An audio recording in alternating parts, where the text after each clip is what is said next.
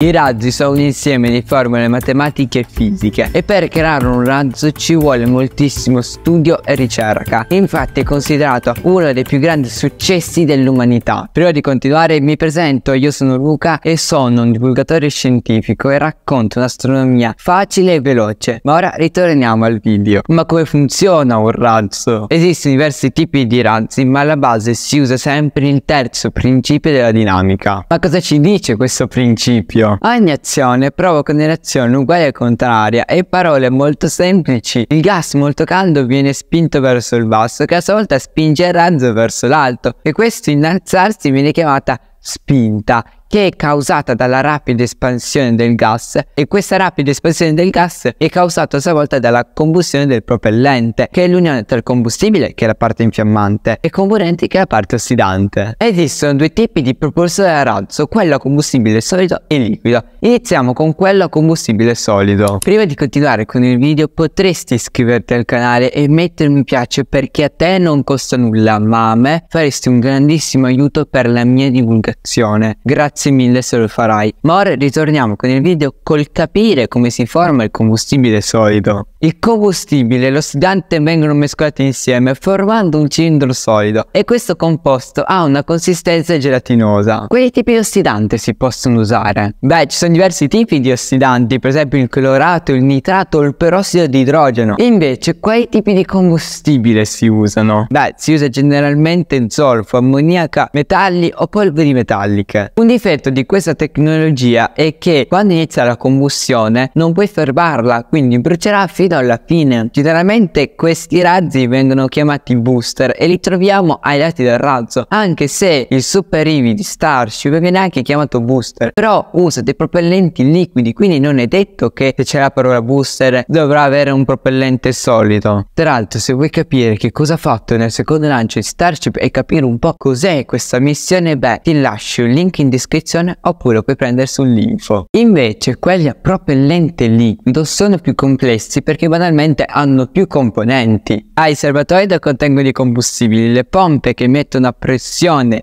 i liquidi e ha la camera di combustione e l'ugello. A differenza di quelli a combustibile solido, il propellente liquido è in grado di essere spento quando è necessario. Ma adesso la vera domanda è, ma come facciamo a far partire il razzo? Per prima cosa tramite dei condotti liquidi entrano nelle pompe che servono per aumentare la pressione forzandoli ad entrare nella camera di combustione. Quando entrano nella camera di combustione, l'ossidante, cioè l'ossigeno liquido, si mischia con il comburente, che può essere eh, il kerosene, l'idrogeno o il metano, creando così un moltissimo gas che spinge verso le pareti della camera di combustione ed esce nell'unico punto che può uscire, cioè nell'ugello. Questo oggetto ha una forma ben precisa perché grazie a questa forma ci permette di velocizzare il flusso di fuoriuscita del gas di scarico e ci permette quindi anche di raggiungere velocità elevatissime che grazie al terzo principio della dinamica dinamica di Newton ci permette di far alzare il razzo. Oltre al propulsore abbiamo tre parti importantissime che sono il sistema di guida, il carico utile e il sistema strutturale. Siamo per parlare del sistema di guida che ci fornisce stabilità al razzo e ci controlla i movimenti durante la discesa. Poi abbiamo il carico utile dove si possono mettere satelliti o esseri umani, insomma dipende un po' da missione a missione. E poi infine abbiamo il sistema strutturale che deve essere leggero e robusto ed essere progettato per resistere a diversi diverse condizioni climatiche, per esempio alte pressioni o temperature estreme che si possono verificare per esempio al momento del decollo o durante la fuoriuscita